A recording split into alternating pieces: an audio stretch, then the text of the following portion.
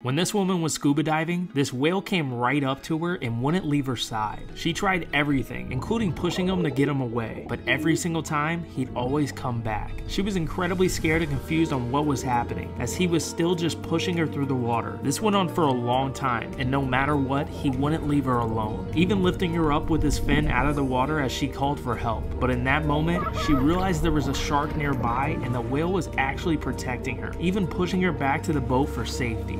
There's a big, big tiger shark up there. completely saving her life.